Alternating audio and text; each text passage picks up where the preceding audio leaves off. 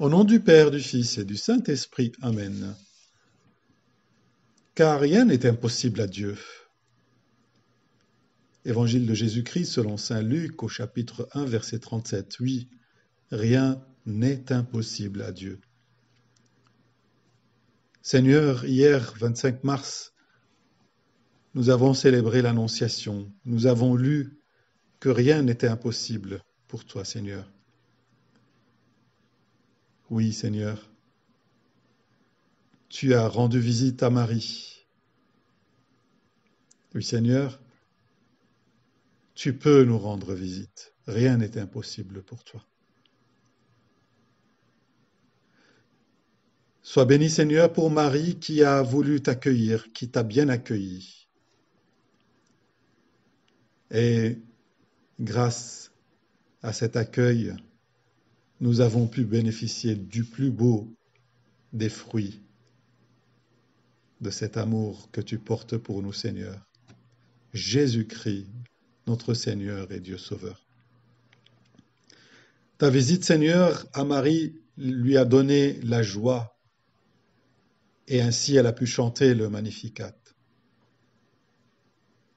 Nous prions pour toutes les personnes qui prennent le temps pour se former et pour euh, préparer les chants dans nos assemblées liturgiques.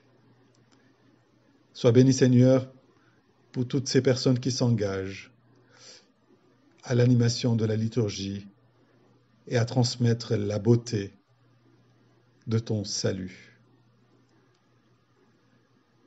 En ce 26 mars, nous prions spécialement pour euh, la troisième édition Ecclesia Cantique qui se tient à, Lille.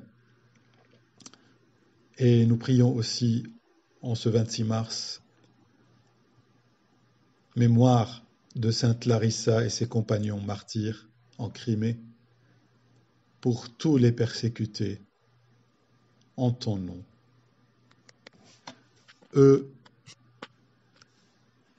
Qui, comme Sainte Larissa, ne font que prier, te louer, t'aimer, et subissent injustement toutes sortes de persécutions allant jusqu'à la mort.